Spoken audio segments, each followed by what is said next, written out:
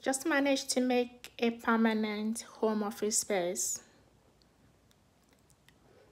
This is where I'm gonna be until COVID-19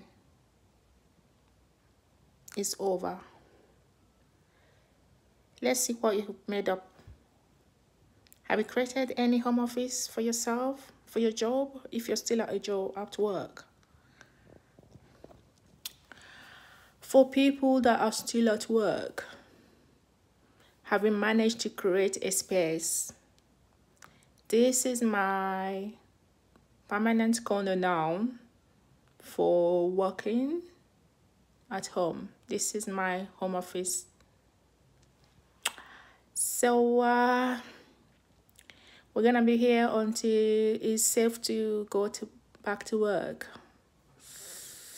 Hope we soon.